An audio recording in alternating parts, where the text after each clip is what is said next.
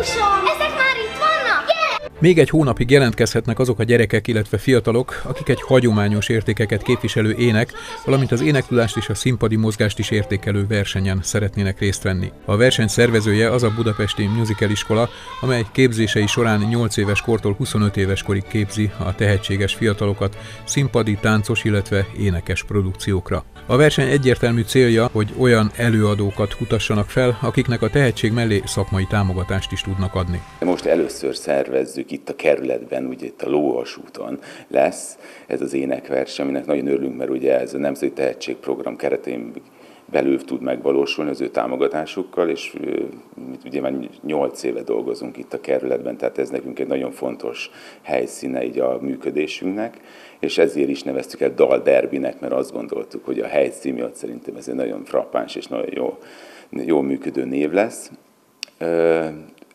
8 és 25 éves kor között várjuk a fiataloknak a jelentkezését. Egy független fórumot szeretnénk létrehozni, ami által megismerjük azokat a tehetséges fiatalokat, akik érdeklődnek a színházi világ iránt. A szervezők négy korosztályban várják a jelentkezőket, a gyermekeket 8-tól 13 évesig, a junior művészpalántákat 13 és 16 év között, az ifjúsági korosztály 17 és 20 éves fiatalokat vár, míg a felnőtt kategóriában a 20 és 25 év közötti versenyzőket várják, összesen 5 művészeti ágban. A musicalbe, a musical és tánccal együtt összekötve. Ezt szerettünk volna lehetőséget adni azoknak, akik már jobb táncosi képességgel is rendelkeznek, de nem szerettük volna, hogy ez annak a rovására menjen, hogy aki esetleg még nem tud táncolni, de nagyon szépen tud énekelni, akkor ebből hátrányt szenvedjen.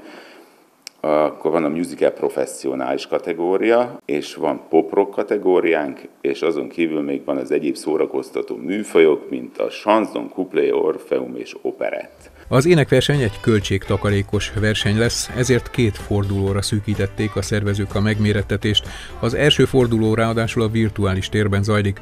A zsűri a beküldött online produkciók alapján állítja össze a döntő résztvevőit. A szakmai alaptudást lehet megállapítani az online elődöntőben, a személyiség varázsát nyilván nem, és ott Viszont az az előnye, hogy nem annyira izgul, aki fellép. Mert azért azt is bele kell kalkulálni, hogy amikor ott ül ilyen szigorú, bajuszos zsűri, akkor, akkor mindenki egy kicsit stresszel. A zsűrit egyébként kifejezetten szakmai alapon állították össze, így kérték fel Páncél Klaudia operaénekest, a három évtizede éneket tanító Berec Beát, valamint a Jászai Díjas Nagy Sándor színművészt.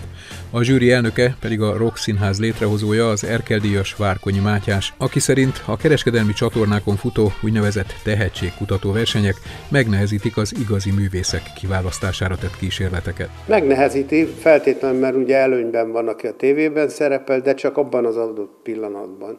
Itt meg arról van szó, hogy hosszú távon kell gondolkodni, perspektívát, jövét és, és célt kell adni a gyerekeknek, a fiataloknak, és, és hátteret, alkotói hátteret. A fiatal tehetségeket kutató országos énekversenyre május 5-éig regisztrálhatnak. Az online anyagok kiértékelését követően június 8-án lesz a döntő az Ugligeti Lóvasút rendezvényközpontban.